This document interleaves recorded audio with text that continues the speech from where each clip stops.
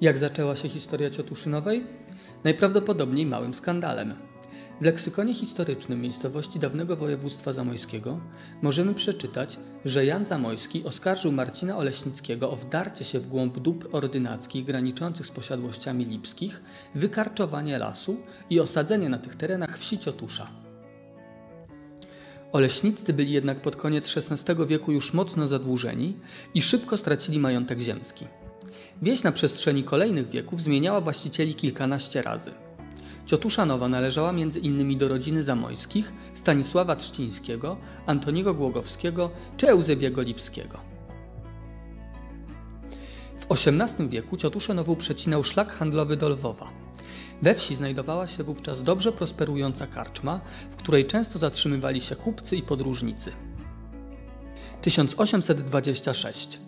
Ciotusza Nowa ponownie trafia na licytację. 1827. Wieś rozrasta się. Liczy 71 domów i 402 mieszkańców. W spisie z roku 1828 możemy przeczytać, że we wsi znajdował się drewniany dwór sosnowy kryty gątem, spora zabudowa zagrodowa z wozownią, spichlerzem i kurnikiem, a także browar i gorzelnia. Powstanie dworu przyczyniło się do dynamicznego rozwoju Ciotuszy. Konieczność zapewnienia folwarkowi odpowiedniej infrastruktury umożliwiającej sprawne funkcjonowanie spowodowało, że we wsi wybudowano dwie kuźnie, cegielnie i hutę szkła, które dały zatrudnienie wielu mieszkańcom. 1837. Józef Gabriel Szeptycki nabywa majątek ziemski Ciotusza składający się z folwarków Ciotusza, Róża i Józefówek oraz wsi Ciotuszanowa i Stara. Cały majątek liczy aż 350 murg ziemi, czyli ponad 206 hektarów. W roku 1858 szeptyccy sprzedają Ciotuszę Konstantemu Sznukowi. Jego potomkiem jest Tadeusz Sznuk, prowadzący teleturniej 1 z 10. Konstanty Sznuk wybudował we wsi nowy, murowany dwór i prawdopodobnie częściowo zmodernizował zaplecze gospodarcze. Obecnie po zabudowaniach dworskich zostało już tylko kilka budynków. Ogromna jak na końcówkę XIX wieku stodoła, część dziewięciokomnatowego pałacu i budynek niegdyś pełniący funkcję szkoły i sklepu, obecnie zamieniony w oborę. W roku 1880 powstaje pierwszy młyn wodny Zuby. Felicja Jadwiga Bogucka, wnuczka Sznuka, odsprzedaje ciotusze hrabiemu Stanisławowi Niewęgłowskiemu. Według mieszkańców folwarku Niewęgłowscy byli wspaniałymi ludźmi, którzy wspomagali groszem, służyli pomocą i dawali dobrą pracę. Po śmierci hrabiego cały tłum ludzi odprowadził jego trumnę w wielkim kondukcie pogrzebowym na cmentarz w Krasnobrodzie.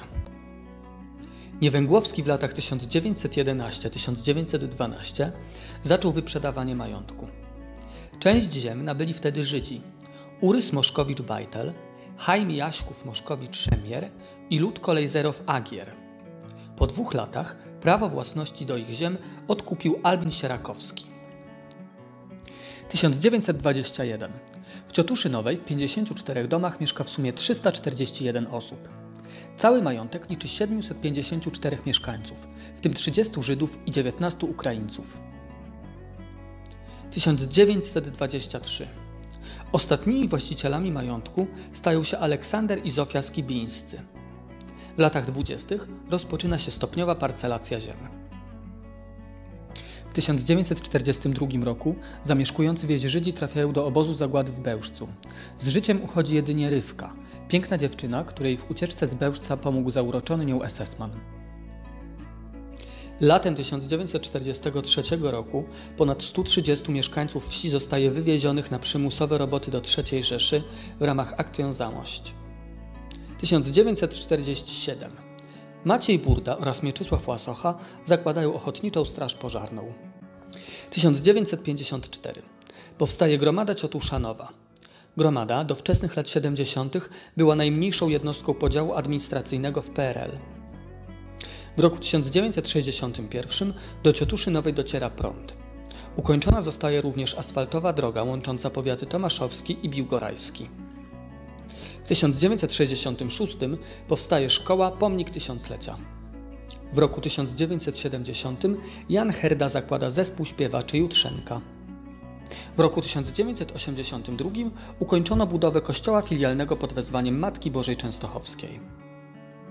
W 1993 do użytku oddano remizo Świetlice. W roku 2020 Jutrzenka obchodzi 50-lecie działalności artystycznej. Tutaj kończymy telegraficzny przegląd najważniejszych wydarzeń. Rozsiądźcie się wygodnie.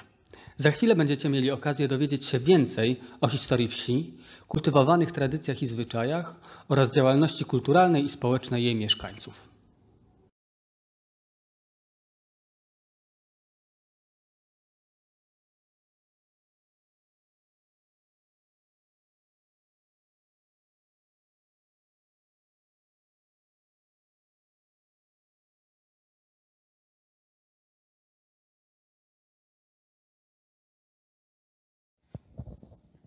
W Ciotuszynowej, jak w większości przygranicznych wsi Polski Wschodniej, krzyżowały się wpływy różnych religii. Zdecydowaną większość stanowili katolicy, ale obok nich we wsi mieszkali również prawosławni i Żydzi. Według spisu z roku 1827 Ciotuszanowa należała do parafii Krasnobród. W roku 1919 wieś została przyłączona do nowo powstałej parafii rzymskokatolickiej pod wezwaniem świętego Tomasza Apostoła w Majdanie Sopockim. Wiara zawsze była i w większości przypadków wciąż jest bardzo ważną częścią życia mieszkańców wsi. Aby uczestniczyć w niedzielnej mszy świętej, ciotuszanie pokonywali 4-kilometrową trasę dzielącą wieś od kościoła parafialnego. Wydeptywali ścieżki na skróty przez pola, lasy i rzekę. Maszerowali boso, niosąc buty w rękach, by nie pobrudzić ich w kurzu czy płocie. Nie odstraszał ich ani letni upał, ani jesienne słoty, ani nawet siarczysty mróz. Uczestnictwo we mszy świętej było obowiązkowym punktem każdej niedzieli. Czasy okupacji niemieckiej przyniosły prześladowania Kościoła katolickiego, który w ciągu ponad tysiącletniej historii Polski, jak żadna inna instytucja, przyczynił się do kształtowania i zachowania tożsamości narodowej. Aby zniszczyć polskość, należało usunąć jej fundament, którym była religia chrześcijańska. Niemcy zaczęli zamykać i niszczyć świątynie oraz zabraniać udziału w nabożeństwach. Według szacunków w czasie II wojny światowej zginęło aż 20% przedwojennego duchowieństwa z Polski. Blisko 3000 katolickich księży, zakonników i sióstr zakonnych zostało zamordowanych przez okupanta. Prawie połowa z nich zginęła w obozach koncentracyjnych. Taki los spotkał m.in. proboszcza parafii pod wezwaniem świętego Tomasza Apostoła, księdza Henryka Blicharskiego i organistę Jana Gąsiorka. 7 lipca 1941 roku obaj zostali wywiezieni do obozu koncentracyjnego w Auschwitz. W roku 1941 kościół w Majdanie Sopockim został zamieniony w cerkiew. Zniszczono wówczas wiele symboli religijnych, w tym krzyż misyjny, który mieszkańcy postanowili jednak uratować i przenieść na posesję Antoniego Kołodziejczyka. Jak wspomina Józef Bondyra, Dom Kołodziejczyka stał się w okresie okupacji niemieckiej miejscem, w którym mieszkańcy gromadzili się na modlitwie, spowiadali się, brali śluby i chrzcili dzieci. Odbywały się tam również lekcje religii. Poza wspomnianym już domem Antoniego Kołodziejczyka, zanim religia trafiła do szkół, katecheza odbywała się również u państwa Burdów, Łasochów i Bielaków. W krajobraz Ciotuszynowej wrosły krzyże przydrożne i kapliczki – milczący świadkowie historii i pobożności kolejnych pokoleń Ciotuszan. Stanowiły one punkt orientacyjny dla wędrowców, wyznaczały początek i koniec wioski, były również wyrazem wdzięczności za otrzymane łaski. Kapliczkę z figurką świętego Stanisława postawił przed 1905 rokiem rządca majątku Ciotuszynowej Stanisław Niewęgłowski jako wotum wdzięczności za narodzenie syna. Trzy anioły namalowane na suficie symbolizują jego zmarłe wcześniej dzieci. Wewnątrz drugiej drewnianej kapliczki w Ciotuszynowej znajduje się obraz Matki Bożej Częstochowskiej z 1910 roku, który, jak opowiada jedna z najstarszych mieszkanek, Genowefa Głuszek, został przyniesiony na plecach z Częstochowy przez Jana Gargule, prawdopodobnie jednego z 500 tysięcy pątników, na uroczystości podczas której papież Pius X ofiarował dwie złote korony dla cudownego obrazu na Jasnej Górze. Kapliczki i krzyże zanim jeszcze we wsi powstał kościół, były dla mieszkańców miejscem codziennych spotkań z Bogiem. Ludzie przechodzący koło kapliczki chwalili Boga, żegnając się lub wznosząc ciche prośby o pomyślność zamierzeń i podziękowanie za opiekę. Przy kapliczkach zatrzymywały się kondukty pogrzebowe, tam odbywało się święcenie pokarmów, a w maju zbierano się, aby śpiewać przy nich majówki. Tradycja ta kultywowana jest jeszcze przez najstarsze pokolenia mieszkańców. Niestety wraz z nim powoli zaczyna zanikać. Najstarsi ciotuszanie z sentymentem wspominają czasy, kiedy gromadzono się licznie w domach koprów, wójtowiczów, kowalików, szwedów i koszerów, odprawiając gorzkie żale czy modląc się na różańcu. Wracają pamięcią do uroczystości pierwszej komunii świętej, po której dzieci szły na śniadanie do sióstr Felicjanek, składające się z gorącego kubka kawy z mlekiem i ciepłej bułeczki. Na początku lat 80. mieszkańcy wsi dojrzewają do decyzji o wybudowaniu w Ciotuszynowej świątyni. Było to o tyle trudne, że władze socjalistyczne nie zezwalały na stawianie budynków o charakterze sakralnym i stosowały represje wobec osób, które starały się forsować tego typu inwestycje.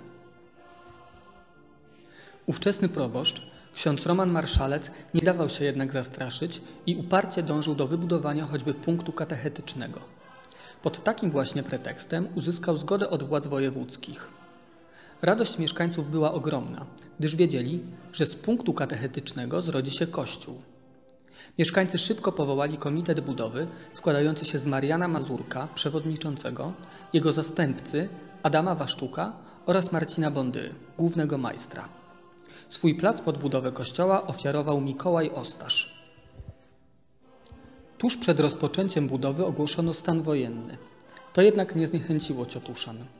Dzięki ich determinacji i uporowi prace parły do przodu. W ciągu trzech dni zalano fundamenty, a w ciągu następnych sześciu wzniesiono mury świątyni.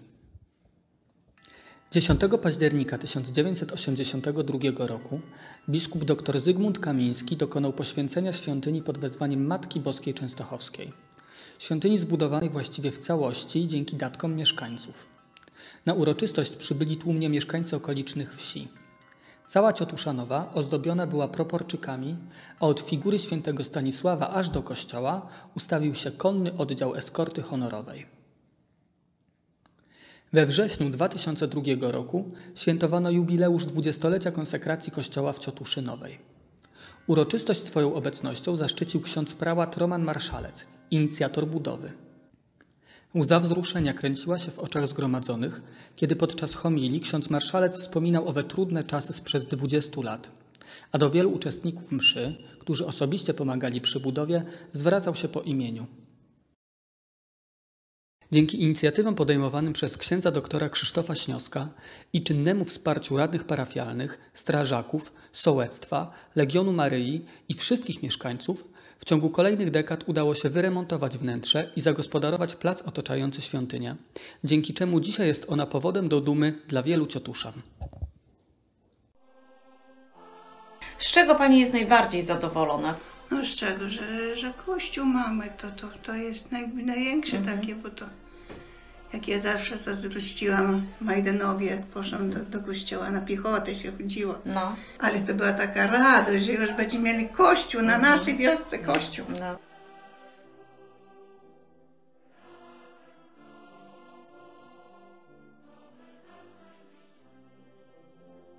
Powstanie kościoła zaczęło sprzyjać rozwojowi religijnemu mieszkańców. Utworzono chór kościelny i służbę ołtarza, cztery koła żywego różańca kobiet i jedno męskie, Legion Maryi i dwie róże różańcowe rodziców. W ciągu 39 lat istnienia kościoła w Ciotuszynowej posługę duszpasterską pełniło czterech proboszczy. Roman Marszalec, Jan Maksym, Józef Bucior i Krzysztof Śniosek oraz 11 wikariuszy. Do rodowitych mieszkańców wsi, którzy usłyszeli głos powołania, należą księża Wiesław Knap, Sebastian i Daniel Koper, ojciec Paweł Kijko oraz siostry zakonne Elżbieta Smoląg, Alina Smoląg, Władysława Kurzyńska, Wiesława Zub, Zofia Kijko, Halina Momot i Cecylia Burda. Mieszkańcy wciąż tłumnie uczestniczą w uroczystościach parafialnych, chętnie biorą udział w pielgrzymkach, nadal pielęgnują przydrożne krzyże i kapliczki i wiele troski wkładają w to, aby Kościół pod wezwaniem Matki Boskiej Częstochowskiej piękniał z dnia na dzień. Pokazują w ten sposób, że wiara do dzisiaj jest ważną częścią ich życia.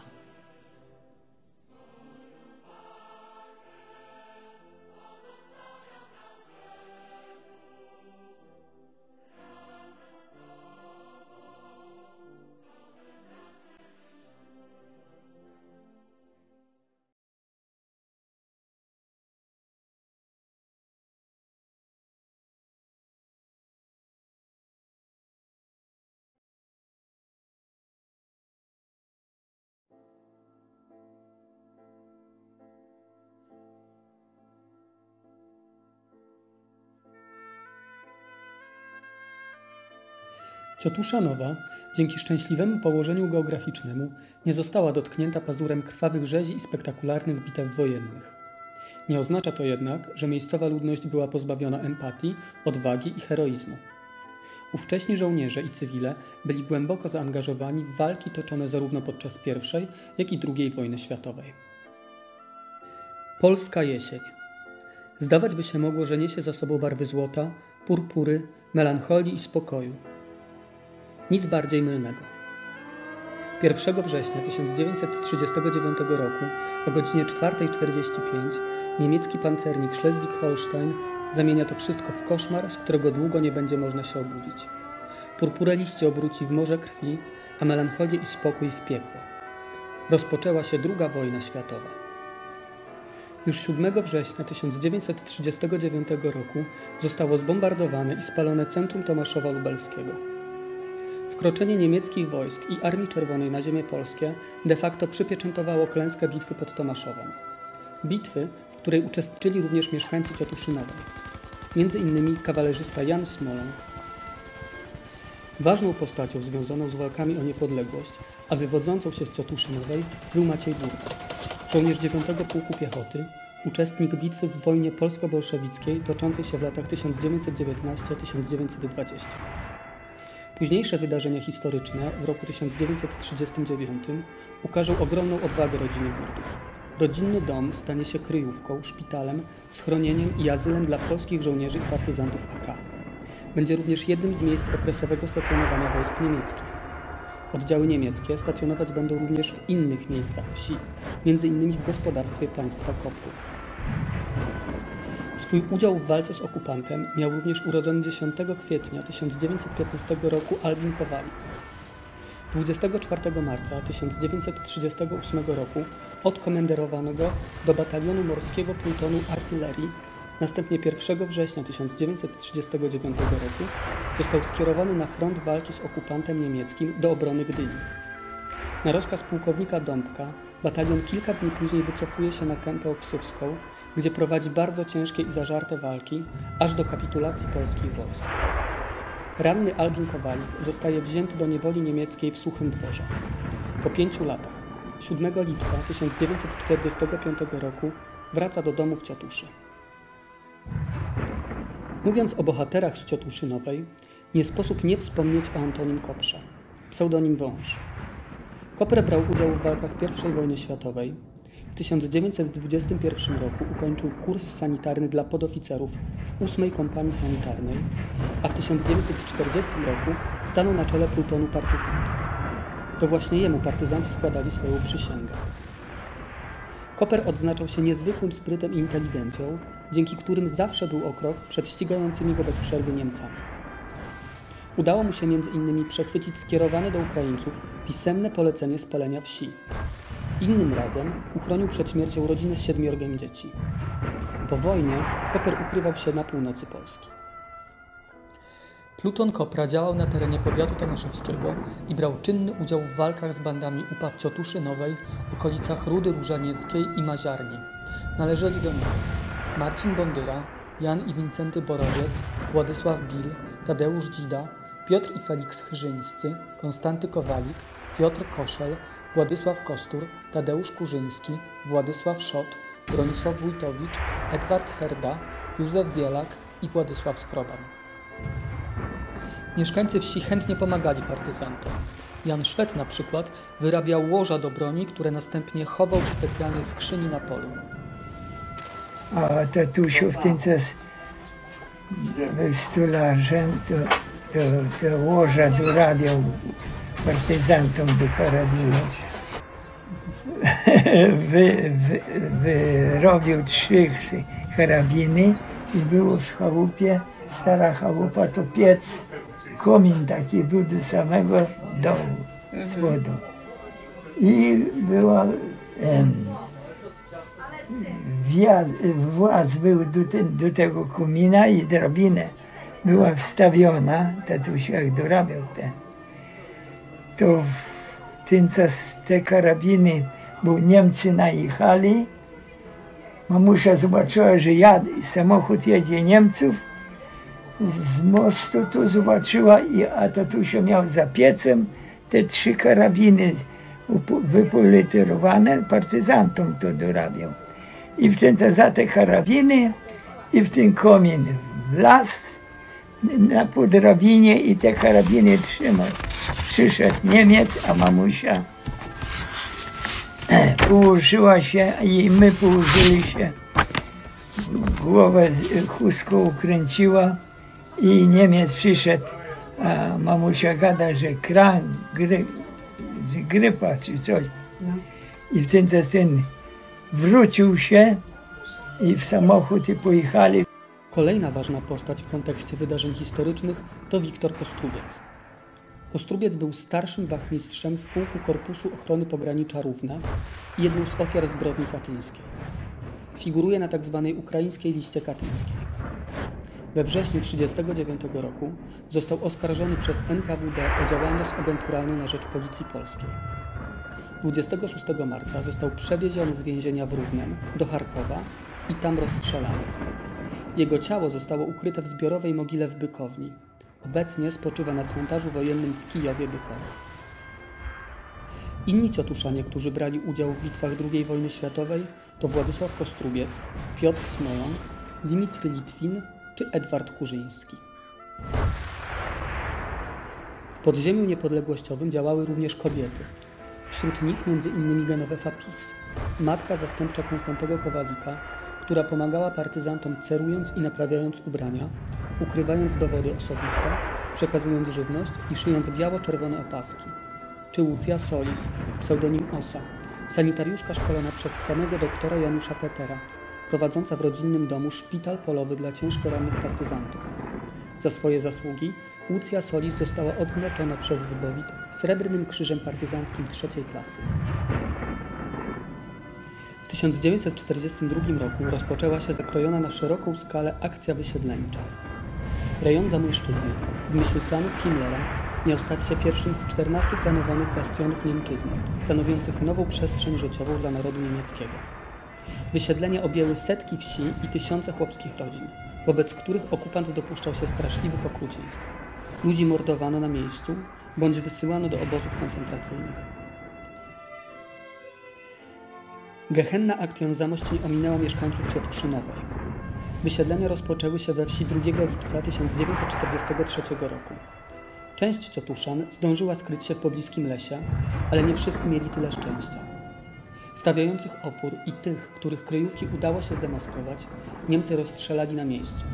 Pozostałych, wyrwane ze snu dzieci, starców, kobiety z niemowlętami i mężczyzn, pędzono pieszo do długiego kątu i w bydlęcych wagonach transportowano do obozów przejściowych w Zamościu i Zwierzyńcu. W sumie ponad 200 osób, najczęściej kobiety i dzieci, z 39 rodzin wywieziono na roboty przymusowe do III Rzeszy.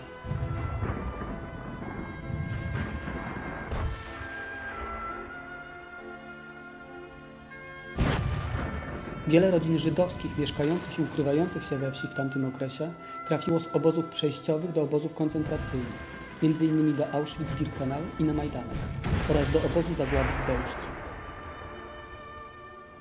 Piekła obozów koncentracyjnych doświadczyli m.in. Jan Gąsiorek, Jan Byra, Bolesław Gargula i Antoni Bondyra. Więcej szczęścia mieli ci, którzy trafiali do obozów pracy w Polsce czy też Niemczech. Polscy pracownicy przymusowi byli zatrudniani w rolnictwie, przemyśle zbrojeniowym oraz przy naprawach zniszczonych w bombardowaniach dróg i torów. Taki los spotkał m.in. urodzonego 25 lutego 1922 roku w Józefówku Józefa Bednarza oraz jego brata Franciszka, schwytanego przez Niemców podczas pobytu na przepustce wojskowej. Bednarz był więźniem obozów pracy przymusowej w Białobrzegach i Dęblinie. Tak wspomina fatalne warunki pracy i życia w obozach. Zabrali mnie do Białobrzegu. Kopaliśmy rowy melioracyjne na bagnach. Woda była zimna. Trzeba było po kolana i wyżej w błocie boso całymi dniami przebywać.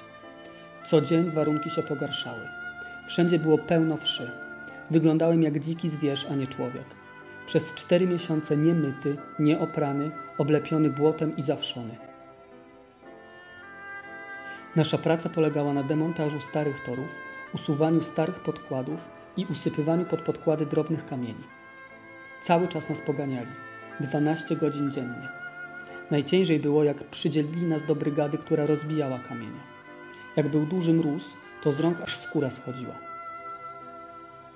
Pod koniec 1942 roku Józef Bednarz trafił na przymusowe roboty w gospodarstwie niemieckim do miejscowości Schwerin. Stamtąd pochodzi spisane przez pana Józefa wzruszające wspomnienie wieczoru wigilijnego. Cywilom nie wolno było wchodzić do łagru, który był w pobliżu.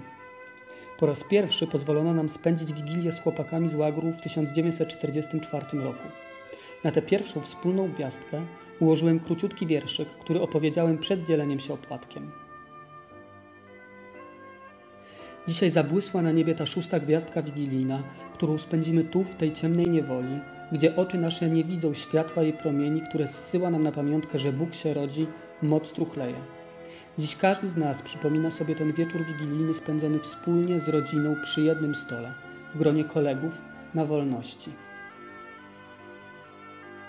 Po wkroczeniu na tereny polskie Armii Czerwonej rozpoczęła się akcja likwidacji polskich struktur niepodległościowych. Uczestnicy ruchów konspiracyjnych byli wyłapywani i aresztowani. Część z nich trafiała do łagrów na Syberii. Taki los spotkał również kilku mieszkańców Ciotuszy Nowej, między innymi Marcina Bondyra. Marcin Bondyra. Przeżycia właśnie były ciężkie. O, przeżycia. Co, co Niemiec nie zrobił, to Ruski dopełnił. Bo, bo, bo tu właśnie tak, za Niemca ja nie był. Należałem, ale tak, żeby w łapach nie był w ich. Udawało się, no. A resztę, e, to co na przykład e, ruskie, no to jak wzięli, to trzeba było półtora roku być na Uraliu. Półtora roku. W 1942 roku Bondyra wstąpił do piątej kompanii AK, dowodzonej przez Mariana Warga z Majdanu Sopockiego. Brał czynny udział w walkach z bandami UPA w Ciotuszynowej, Rudzie Różanieckiej i Maziarni. Po wkroczeniu do Polskiej Armii Czerwonej, jako członek Polskiej Konspiracji Niepodległościowej, Bondyra został aresztowany przez NKWD. Początkowo przetrzymywany w Tomaszowie Lubelskim, pod koniec 1944 roku trafił do więzienia na zamku w Lublinie.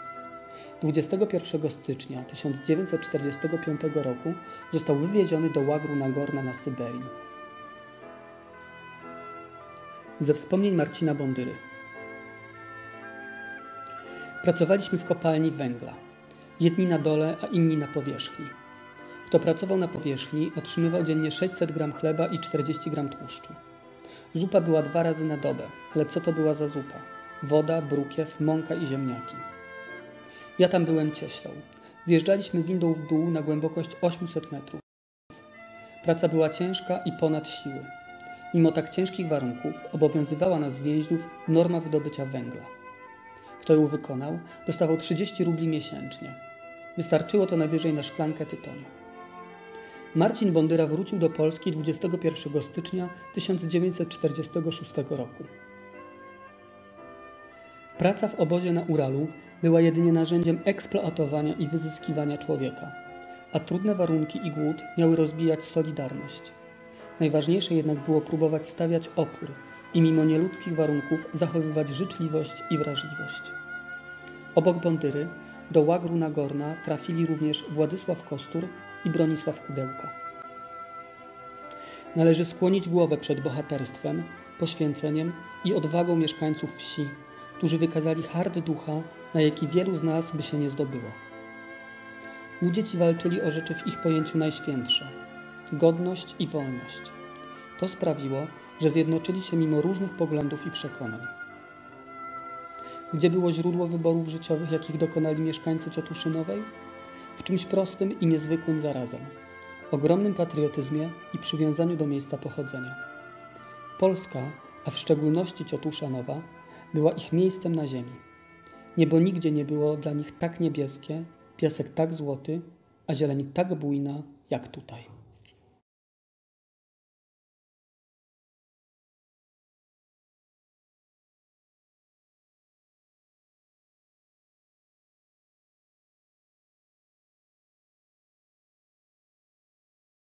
Drodzy ciotuszanie, serdecznie dziękuję za zaproszenie. Bardzo żałuję, że nie mogę z wami być.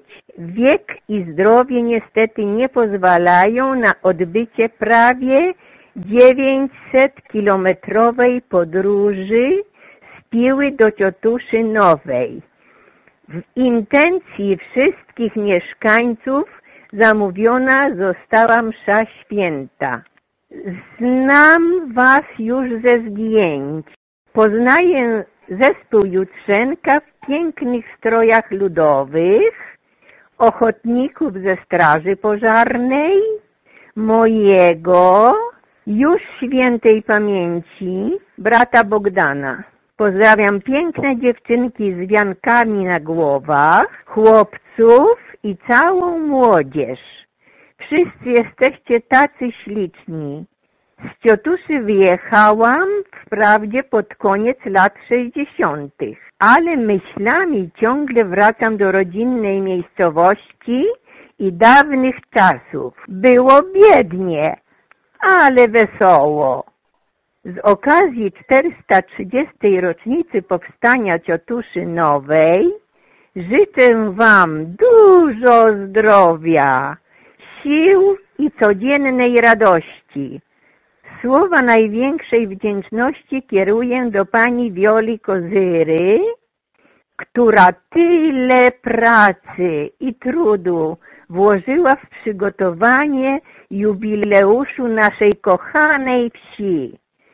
Serdecznie ściskam również moich dawnych uczniów i wychowanków, koleżanki i kolegów, nauczycieli oraz wszystkich pracowników szkoły podstawowej w Ciotuszy Nowej, w której miałam przyjemność uczyć.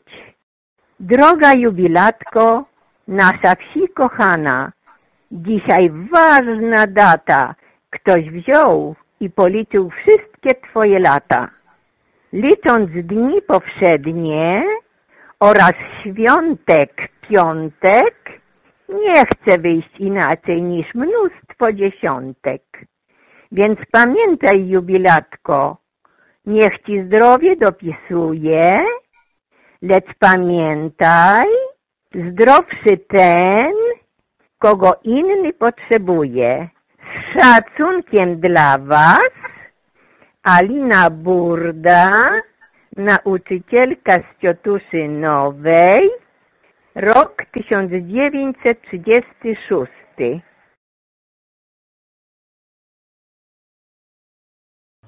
Szkoła Ciotuszynowej rozpoczęła swoją działalność pod koniec ostatniego rozbioru Polski. Utworzono wtedy cztery nieobowiązkowe klasy w języku rosyjskim, a edukacja skupiała się przede wszystkim na kwestiach religijnych. W okresie po I wojnie światowej stosunkowo niewielką uwagę przykładano do edukacji. Uczniowie uczęszczali do szkoły niesystematycznie, ponieważ ważniejsza od nauki była praca w gospodarstwie. Tylko najbogatsi mogli pozwolić sobie na zakup książek, papieru czy kałamarzy. Nauczycielami w pierwszych latach XX wieku byli Julian Jarema, Jan Szczęsny i Bronisława Ciotówna.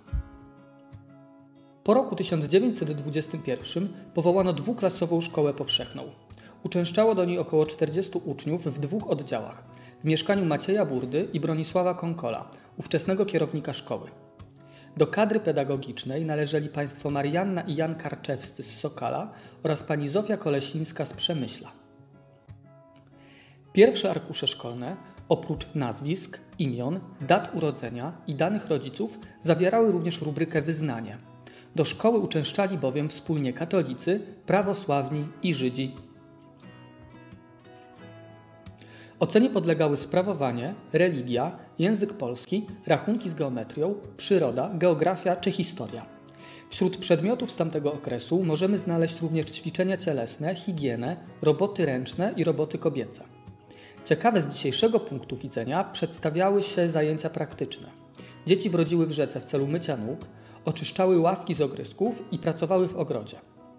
W latach 30. szkoły funkcjonowały zgodnie z kalendarzem świąt kościelnych. Każda lekcja zaczynała się i kończyła modlitwą. Na pierwszym planie był Bóg, nauka wiary i obyczajów. Niesfornych uczniów dyscyplinowano karami cielesnymi. uderzeniem kijem w przysłowiową łapę czy klęczeniem w kącie na gryce. Do szkoły chodziłem jako młody chłopiec, tylko w okresie zimowym. Nauczycielką, która pozostała mi w pamięci, była Zofia Kolasińska. Było zadanie z matematyki, aby policzyć krokami odległość od szkoły do swojego domu. Zadanie zostało wykonane wraz z kolegami, na oko. Jednak znalazł się nadgorliwy uczeń, który za punkt honoru obrał solidne wyliczenia i z wielką dokładnością policzył kroki. Ekipa chłopców żyjąca z matematyką na bakier, w tej ekipie i ja, chwyciliśmy go za ręce i z biegiem, ile sił w nogach, pokonaliśmy drogę do domu. On zaś odmierzał w locie swoje susy. Daleko im było do kroków. Uczeniów poskarżył się pani Kolasińskiej. Sprawiedliwość została wymierzona natychmiast. Kijem po łapach pranie było przednie. Chłopaki długo dmuchali w dłonie i pocierali o co się dało, byle złagodzić ból. Surowa dyscyplina obowiązywała w szkołach przez kolejne dekady. Kary cielesne zniesiono formalnie dopiero w roku 2001. Często zdarzało się, że uczniowie nie zdawali do kolejnej klasy. Braki promocji nauczyciele uzasadniali takimi zwrotami jak matołek czy upośledzony umysłowo. Częstym powodem powtarzania klas była również niska frekwencja. Ta wynikała przede wszystkim z wszechobecnej biedy. Brakowało nie tylko materiałów do nauki, ale nawet tak podstawowych rzeczy jak buty, ubranie i jedzenie.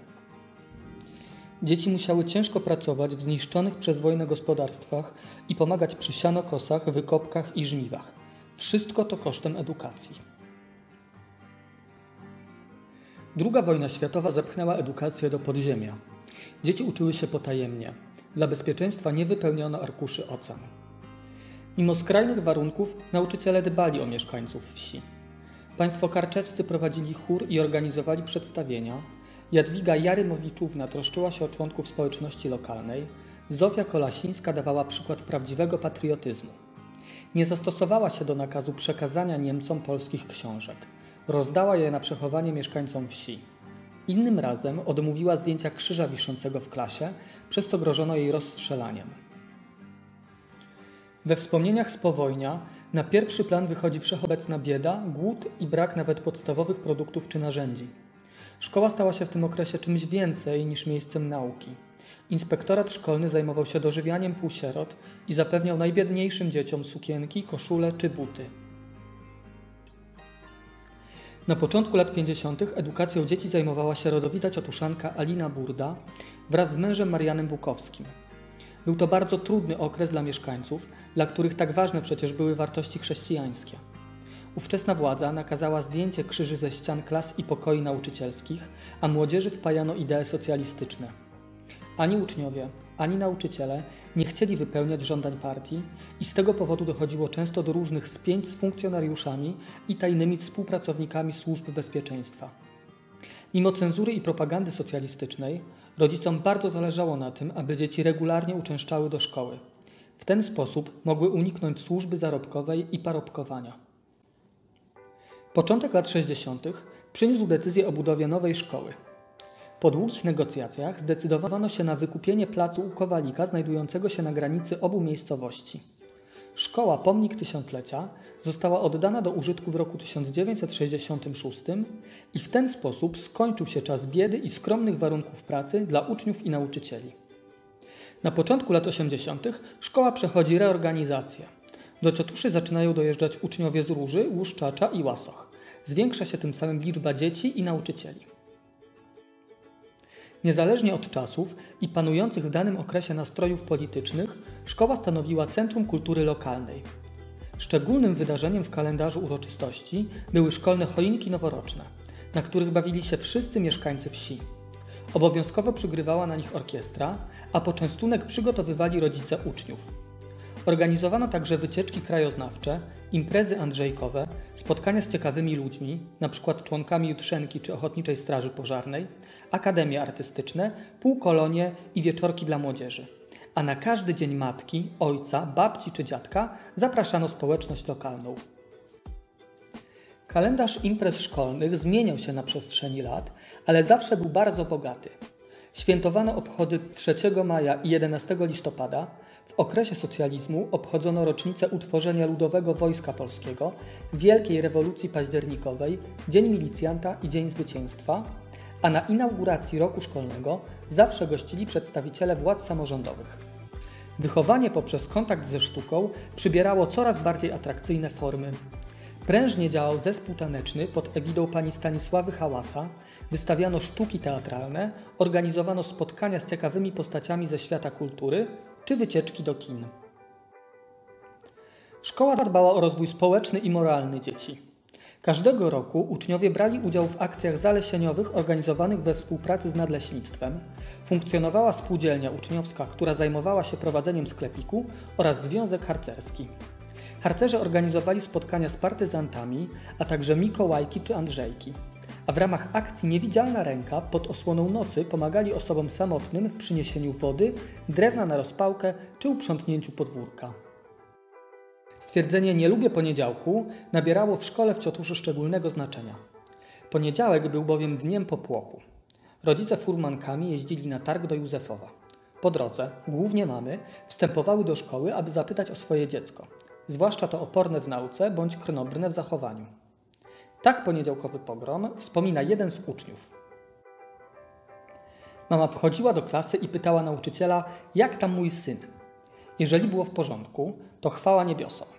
Ale gdy coś było nie tak, matka podbiegała do mojej ławki i po głowie zdzielała parę razy. Nie wspomnę o potoku słów typu baranie wyrzucanych w emocjach. Nie bolały uderzenia, ale wstyd przed klasą. Czas robił swoje i zwykle scenariusz poniedziałku był taki sam. Szczęściem było, gdy rodzice nie jechali na targ.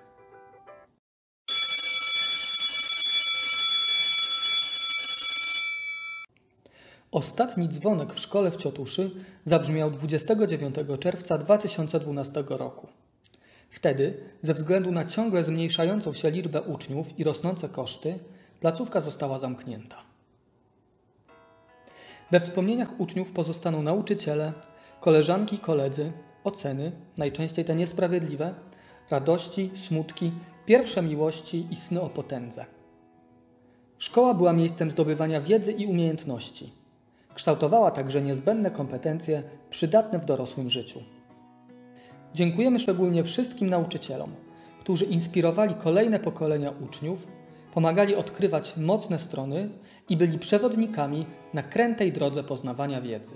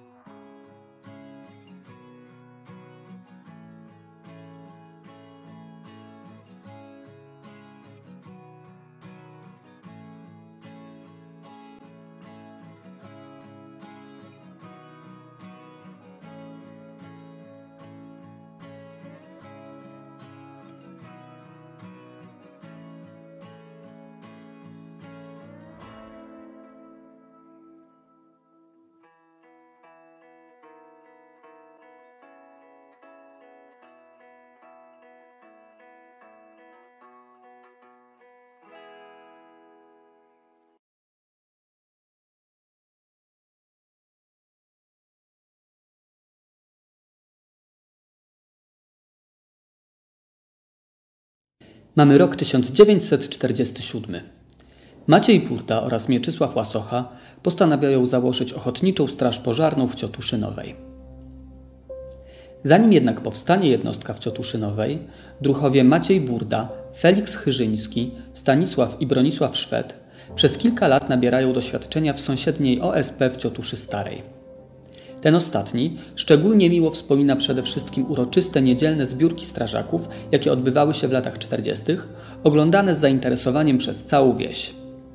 Burda, Chyżyński, Bronisław i Stanisław Szwed byli więc pierwszymi strażakami w Ciotuszynowej i to na ich doświadczeniu bazowali członkowie nowo powstałej formacji. Pierwszy skład stanowił Józef Bielak, pełniący funkcję prezesa, Mieczysław Kita, komendant jednostki, a także Józef Heisner, Władysław Skroban, Wawrzyniec Herda, Mirosław i Zenon Łasochowie, Feliks Chyrzyński, Jan i Tadeusz Michałuszko, Konstanty Biela oraz Jan Fila. Józef Portka oraz Stanisław Fila pełnią funkcję strażackich wozaków. Ich wozy od tej pory zawsze będą w gotowości na wypadek pożaru. Tak rozpoczyna się historia Ochotniczej Straży Pożarnej, która z krótkimi przerwami działa w Ciotuszynowej do dnia dzisiejszego. Przymusowe powołania do Ochotniczej Rezerwy Milicji Obywatelskiej sprawiły bowiem, że OSP musiała zawiesić swoją działalność około roku 1949. Na szczęście ponownie ją wznowiła już w roku 1951. Sprawą honorową dla strażaków i mieszkańców wsi było posiadanie budynku, który mógłby służyć jako miejsce do organizacji wiejskich uroczystości, zabaw i spotkań. Dlatego już w 1948 roku wspólnymi siłami udało się wybudować pierwszą drewnianą remizę. Kolejny, bardziej nowoczesny budynek wzniesiono w ciągu dwóch lat, pomiędzy rokiem 1956 i 1958, ale rozwój straży w Ciotuszynowej był tak prężny, że również ta siedziba wkrótce okazała się za mała i niefunkcjonalna. W 1991 roku rozpoczęto budowę dwupiętrowej remizoświetlicy, którą dzięki ogromnemu zaangażowaniu Komitetu Budowy z Feliksem Kosturem, Sewerynem Ćmilem, Bronisławem Koprem, Józefem Bielakiem i Bolesławem Michałuszko na czele, a także wsparciu mieszkańców wsi, oddano do użytku 28 sierpnia 1993 roku. Jak wspomina Jan Heisner w jednej z publikacji na temat straży, w ciągu kolejnych lat OSP Ciotuszanowa była systematycznie zaopatrywana w nowy sprzęt. Pierwsza motopompa, jeszcze dość prymitywna, do obsługi której potrzebnych było aż ośmiu mężczyzn, trafiła do jednostki w roku 1954. W 1960 Ochotnicza Straż Pożarna otrzymała samochód Lublin 51, który niedługo potem zamieniono na Stara 660. W 1974 roku straż otrzymała wóz strażacki marki Żuk, a wraz z nim oznaczenie S, jednostki posiadającej samochód bojowy oraz niezbędny osprzęt. Od 2007 roku strażacy z Ciotuszynowej mają do swojej dyspozycji wóz strażacki marki Ford Transit. W roku 1979 OSP w Ciotuszynowej wzbogaciła się o sekcję młodzieżową jak wspomina Mieczysław Koper, z powodzeniem zaczęła brać udział w zawodach strażackich na różnych szczeblach. Do Straży Pożarnej w Ciotuszynowej przystąpiłem 1 września 1979 roku. Okazało się, że jestem najmłodszy. Pozostali nazywani byli starą ekipą. Wiosną 1980 roku zaczęły się przygotowania do gminnych zawodów strażackich. Stara ekipa nie bardzo do udziału w takich zawodach się nadawała, zacząłem więc szukać ochotników. W szeregi straży udało mi się włączyć Zbycha i Ryśka Łasochów, Wieśka i Zdzicha Wójtowiczów, Krzysia i Stefana Michałuszko, Romka Gramatykę, Krzyśka Kitę i Stacha Bednarza. Po wielu treningach udało nam się zdobyć pierwsze miejsce i puchar wójta gminy. Tak nam zwycięstwo posmakowało, że pierwsze miejsce zajmowaliśmy przez kolejne 5 lat z rzędu i przejęliśmy puchar na własność. Do tej pory stoi w garażu strażackim. Strażacy Ciotuszynowej wielokrotnie byli gospodarzami słynnych w całej okolicy imprez tanecznych. W ten sposób udało im się zebrać pieniądze na zakup nowego wozu strażackiego. Pełnili także ważne funkcje reprezentacyjne. Byli m.in. członkami Kościelnej Służby Porządkowej podczas pielgrzymki papieża Jana Pawła II do Polski w roku 1999. Ochotnicza Straż Pożarna do dnia dzisiejszego aktywnie uczestniczy w życiu religijnym mieszkańców Ciotuszynowej. Każdego roku pełniąc asystę honorową podczas najważniejszych świąt kościelnych, biorąc udział w procesjach, odpustach i dożynkach parafialnych. Strażacy z OSP Ciotuszanowa przez wiele lat prowadzili systematyczne kontrole gospodarstw pod kątem bezpieczeństwa przeciwpożarowego i co najważniejsze, wielokrotnie ratowali mieszkańców okolicznych wsi i ich dobytki. Jak mówi Mieczysław Koper, niektóre akcje okazywały się trudne i dramatyczne. Najbardziej zapadł mi w pamięć pożar między Wólką Husińską a Husinami, gdzie płonął budynek mieszkalny. Dojechaliśmy jako pierwsi i wspólnie ze Strażą z Ciotuszy Starej utworzyliśmy linię gaśniczą o długości około 1 km. Wodę trzeba było czerpać aż z jeziorka. Pożar udało nam się ugasić, jednak nieopodal tlił się jeszcze mały ogień. Poszliśmy w to miejsce i zruszyliśmy je bosakiem. Okazało się, że było to spalone do połowy ciało mężczyzny. Bardzo to przeżyłem. Pierwszy raz widziałem coś tak dramatycznego. Bogusław Burda, jeden z najstarszych członków OSP, wśród najważniejszych akcji, w których brali udział ciotuscy strażacy, wymienia pożary domów piotrowskich, kowalików, Jana Herdy, Kasi Bednarz, trafionej piorunem stolarni uchyrzyńskich czy suszarni tytoniu Mieczysława Kopra. Ten przywołuje wydarzenie w następujący sposób. Pamiętam, jak paliła się suszarnia tytoniu, do tego moja własna. Jak zawsze, ale to zawsze nosiłem ze sobą klucz do garażu strażackiego. Tak wtedy, a byłem w pracy w tartaku, okazało się, że klucz został w domu. Musiałem biec po niego do domu, a potem z powrotem do garażu po samochód. Teraz opowiadam tę historię jako anegdotę. Wtedy nie było mi do śmiechu. Strażacy z Ciotuszynowej brali również udział w akcjach ratowniczych podczas klęsk żywiołowych, jak na przykład powodzi w Przemyślu czy Sandomierzu. Historia Ochotniczej Straży Pożarnej w Ciotuszynowej liczy już ponad 70 lat. W ciągu tego czasu strażacy nie tylko wielokrotnie ratowali dobytki mieszkańców wsi, ale również zapewniali ciotuszczanom rozrywkę i godnie reprezentowali ich na różnych wydarzeniach. OSP Ciotuszanowa po dziś dzień pozostaje we wsi ważną i prestiżową formacją. Obecnie liczy 25 strażaków, 21 czynnych i 4 honorowych. Ochotnicza Straż Pożarna w Ciotuszynowej nie rozwinęłaby się w tak wspaniały sposób, gdyby nie Zbigniew Łasocha i Felix Kostur, którzy przez wiele lat bezinteresownie i z wielkim entuzjazmem angażowali się w działania jednostki. Dzisiaj panów Zbigniewa i Feliksa nie ma już z nami i niestety nigdy nie poznamy wielu cennych historii na temat strażaków z Ciotuszynowej. Bardzo dziękujemy Wam jednak za te, które zdążyliście opowiedzieć.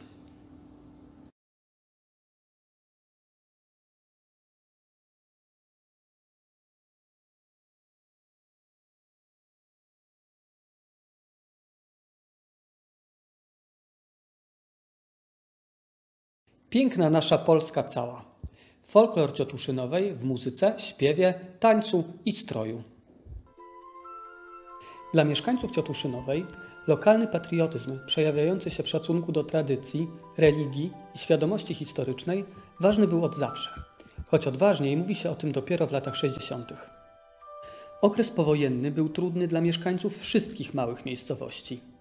W ludziach wciąż tlił się strach, ciągle jeszcze opłakiwali poległych i zaginionych, starali się odnaleźć w nowej rzeczywistości.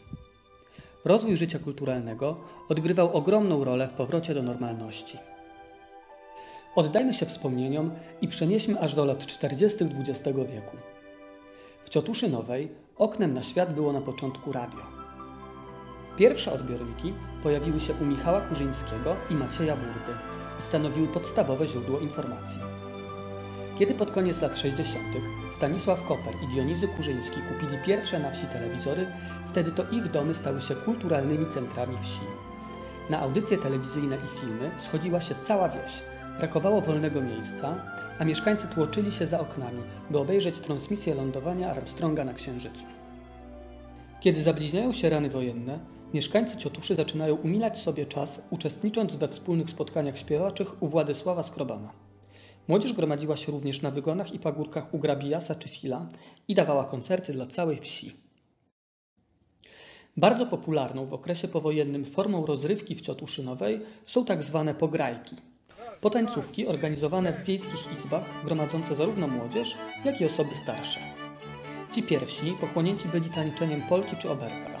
Seniorzy, głównie starsze kobiety, siedziały dookoła izby i pilnowały, aby chłopiec za bardzo nie przytulił się do dziewczyny, ceniając przy okazji urodę ciotuskich panien. O oprawę muzyczną pograjek dbała w Ciotuszy kapela, którą tworzyli Jan Fila, akordeonista, grający na perkusji Władysław Bukała i Tomasz Łasocha oraz skrzypkowie Marcin Kita i Michał Ćmil. Ciekawym zwyczajem kultywowanym podczas wiejskich wesel są przedane. Przenosiny panny młodej do domu swojego świeżo upieczonego męża. Weselnicy, przede wszystkim kawalerowie, przebierają się za cygana, dziewczynę, muzykanta i wynoszą z domu młodej najróżniejsze przedmioty, od kołysek po garnki. Umieszczają je na wozie i przy wiwatach mieszkańców przewożą w kolorowym korowodzie do domu pana młodego. Na zbytki kradną jeszcze prosie, kota czy kurę. Korowód weselny z przedanami i przebierańcami szedł przez całą wioskę ku uciesze mieszkańców. Niezwykle ciekawe były również obrzędy andrzejkowe. Panny musiały ukraść drewno z gospodarstw kawalerów i ugotować specjalną kolację, najczęściej kapustę z grochem. Chłopcy dobrze pilnowali swojego drzewa, więc panny czasami kilka godzin uciekały po wsi z kradzionym drewnem. Ostatecznie wszyscy wspólnie jedli kapustę z grochem. Wspólna kolacja miała zagwarantować obu stronom szybką zmianę stanu cywilnego. Kawalerowie mieli w zwyczaju malować wapnem okna domu każdej panny. Niepobielone okno było traktowane przez dziewczynę jako afront i złą wróżbę. Oznaczało, że nie znajdzie ona męża w nadchodzącym roku. W niedzielę wielkanocną, tuż po zjedzeniu paschy, wszyscy mieszkańcy wychodzą do lasu grabowieckiego i na obrzeżach rozpalają ogniska. Ogniska skupiają wokół siebie dzieci, młodzież, dorosłych i starszyznę. Wszyscy śpiewają, wspominają i bawią się wesoło. Na drugi skraj lasu przychodzą mieszkańcy Grabowicy. Rozpalają ogniska i również głośno śpiewają, a tradycje te nazywają uliczkami. Trwają przekomarzania, kto rozpali większy ogień i głośniej zaśpiewa. Zwyczaj ten obecnie kultywuje jeszcze kilka rodzin z Ciotuszy i Grabowicy. Chciałabym, żeby tradycja sobódek przetrwała, ale czasu nie da się zatrzymać. Nie ma komu jej kultywować. mówi Alina Bednarz. W lany poniedziałek, który często trwał okrągły tydzień, chłopcy oblewali dziewczyny wiadami z wodą albo wrzucali je do stawu. Nawet chowanie się w kurnikach czy stodołach zdawało się na nic. Kawalerowie byli bardzo zdeterminowani, żeby na żadnej pannie z Ciotuszy nie została nawet sucha nitka. Dziewczyny w odwecie w kolejnych tygodniach zasadzały się na chłopców w drodze ze szkoły i sprawiały im tęgielami. Kultywowano również tradycję kolędowania z żywym koniem czy loterii, zabawy, w której losowano zadania do wykonania, polegające na przykład na kradzieży garnka z obiadem z domu sąsiadki. Tak upływają wyjątkowe lata 50. i 60. Nie było często dokąd pójść czy w co się ubrać, ale życie towarzyskie zaczęło się kręcić na dobre. Nie sposób mówić o kulturze w Ciotuszynowej, nie wspominając o urodzonym w 1918 roku Janie Herdzie. Jak większość mieszkańców wsi utrzymywał się z uprawiania roli, jednak sercem i duszą był muzykiem, poetą, aktorem, kompozytorem i śpiewakiem. Herda, nazywany ciotuskim kiepurą, był ogromnym miłośnikiem folkloru, a sztuka była dla niego całym światem. Być może dlatego nigdy nie znalazł swojej drugiej połówki. Sam mówił, że nie miał czasu na założenie rodziny, bo od randek zawsze ważniejsze były dla niego próby. Mieszkańcy wsi bardzo doceniali jego twórczość. Kiedy obchodził swoje imieniny, od rana do późnych godzin wieczornych schodzili się do niego z życzeniami, a wspólny śpiew słychać było jeszcze grubo po północy. To się coś dowiedzieć, jak się tu kochają. Czy dziewczyny we wsi już się pożeniły, no i całe lato znów się tu skociły. Gęsi za wodą, kaczki za wodą, ucieka dziewczyno, bo cię powodą. Ty mnie musi dasz, ja ci dam, ty mnie nie wydasz, ja ci nie wydam. Żeniła się całe lato ku byciu Katarzynbaka. Żeniła się jak szła w pole, nawet często i w stodole. Zerkła na mnie oczkiem, ja do niej zaloty i całą noc chcianie robiliśmy psochy. Gęsi za wodą, kaczki za wodą, ucieka dziewczyno, bo cię powodą. Ty mnie buzi dasz, ja ci buzi dam, ty mnie nie wydasz, ja cię nie wydam. Herda otrzymywał propozycje matrymonialne od panien z całej Polski. Odpisywał tylko na niektóre z nich, często myląc przy tym adresatki, co powodowało wiele zabawnych sytuacji. Oto fragment listu jednej z dziewczyn. Panie Januszku, pomylił pan listy. Do mojej koperty przez nieostrożność włożył pan list do pani Tereski. Wszystko ludzkie i życiowe, przez co jeszcze bardziej mi się pan podoba. Wydaje mi się, że pan się szybko ohajtnie. Pan jest niewybredny, bo każda pana odpowiada. Jedno mnie dziwi, że pan do tej pory ciągle sam. Rozwój życia kulturalnego w Ciotuszynowej był dla Jana Herdy niezwykle ważny. Chciał zaszczepiać młodych ludziach zamiłowanie do muzyki i aktorstwa, ale również dawać możliwość oderwania się od codzienności i ciężkich prac polowych. To właśnie on założył w miejscowości kółko teatralne dla młodzieży i bibliotekę. W remizo Świetlicy organizowano próby, pisano scenariusze, przygotowywano rekwizyty, a wsparcie techniczne gwarantowali Jan Kawalec i Edward Świderek. Grupa, która początkowo wystawiała sztuki i widowiska obrzędowe w poddworskim budynku Burdów, niedługo potem zyskała ogromną popularność wśród mieszkańców okolicznych wsi i zaczęła prezentować swój repertuar w Roguźnie, Grabowicy, Majdanie Sopockim, Parach, Kunkach czy Łuszczaczu. W roku 1970 Jan Herda postanowił założyć ludowy zespół śpiewaczy. Początkowo funkcjonował on pod nazwą Ciotuszany. Jednak pewnego dnia Herda, zachwycony wschodem słońca, jaki miał okazję podziwiać w drodze do pracy w polu, postanowił zmienić nazwę zespołu na Jutrzenka. Jutrzenka w 2020 roku obchodziła swoje 50-lecie. Zespół pod dyrekcją ciotuskiego Kiepury bardzo szybko odniósł sukces na szczeblu lokalnym. Występy Jutrzenki były prawdziwymi widowiskami. Herda dbał nie tylko o warstwę muzyczną i tekstową, samodzielnie bowiem komponował piosenki i przyśpiewki, ale również choreografię występów. Zespół w kolejnych latach uświetniał takie uroczystości jak Dożynki czy Dni Strażaka. Odbył również trasę koncertową po gminie Susiec. Jutrzenka w 1981 roku zajęła się organizacją dożynek wiejskich, wskrzeszając przedwojenną tradycję zapoczątkowaną przez właściciela wsi Niewęgłowskiego. Organizacji dożynek pomagały jutrzence działające w miejscowości Koło Gospodyń Wiejskich i Ochotnicza Straż Pożarna. W 2011 roku sołtys wsi Renata Pis organizuje po raz pierwszy gminno-parafialne dożynki, na których bawi się już nie tylko Ciotuszanowa, ale także cała okolica. Po śmierci Herdy w lipcu 1995 roku kierownikiem Jutrzenki zostaje Alina Bednarz, jedyna śpiewająca członkini oryginalnego składu, która podobnie jak jej poprzednik kocha muzykę i chce zarażać swoją pasją kolejne pokolenia Ciotuszan. Alina Bednarz rozszerza grono członków zespołu o mieszkańców sąsiednich wsi. Z odświeżonym składem przez kolejne 25 lat kultywuje dziedzictwo herdy, występując na uroczystościach świeckich i kościelnych z pieśniami weselnymi, ludowymi, patriotycznymi czy religijnymi. Obok Jana Herdy i Aliny Bednarz kulturę we wsi promuje również Stanisława Hałasa, miejscowa nauczycielka, która założyła szkolny zespół taneczny. Należy także pamiętać o wielkiej roli twórców ludowych, którzy zajmowali się muzyką religijną. Do takich osób należała Stanisława Wójtowicz, która rozpoczynała śpiewy przed każdą mszą świętą, a liczba pastorałek i kolęd, które znała, zaskakiwały każdego. Pani Stanisława żegnała pieśniami żałobnymi każdego zmarłego mieszkańca Ciotuszynowej. Z czasem zaczęły jej pomagać również Sabina Michałuszko i Krystyna Kostur. W roku 1982 po wybudowaniu kaplicy powstał i funkcjonował aż do lat współczesnych kierowany przez siostrę Cecylię chór kościelny. Przez wiele lat o oprawę muzyczną uroczystości religijnych dbały Teresa Koper i Alina Bernarz. W ostatnich latach profesjonalnie zajął się tym organista Jacek Babiuch. Na przełomie lat 80. i 90. Wiesław Kowalik prowadził w Ciotuszynowie wypożyczalnię kaset VHS, a od lat 60. do 80. funkcjonowały w miejscowości klubo-kawiarnia i młodzieżowy klub sportowy. Na niedzielne mecze siatkówki pod drewnianą świetlicę schodziła się cała wieś. To były czasy. Graliśmy o skrzynkę orężady albo o skrzynkę piwa. Wspomina Zdzisław Wójtowicz. Równolegle z Jutrzenką w Ciotuszy Nowej zaczyna działać również koło gospodyń wiejskich.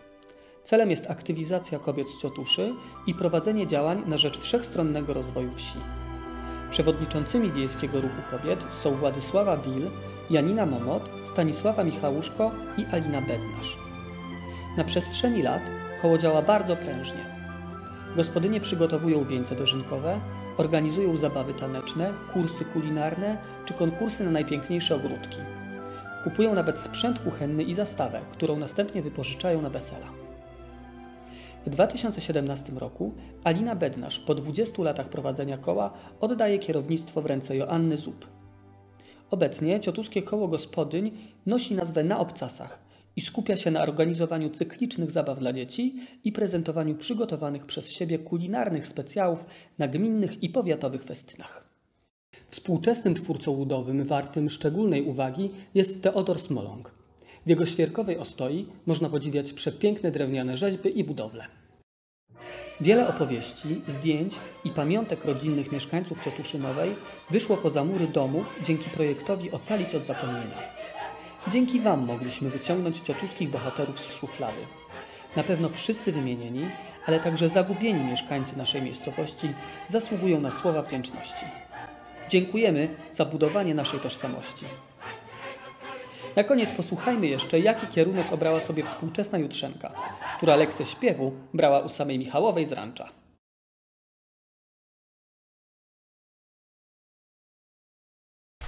Tak źle się czuję